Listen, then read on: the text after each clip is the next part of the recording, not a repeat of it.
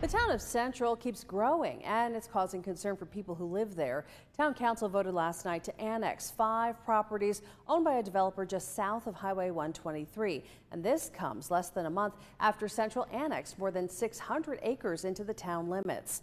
Town officials voted to zone the properties as planned use development, something the mayor says he voted against. The reason I voted no was um, I'm not sure that we have the administrative staff to handle developments of this size. It's a large piece of property, and there's a lot of administrative burden with that. It's not clear what the properties will be turned into. The developer will have to get approval from town council and pay impact fees before building anything.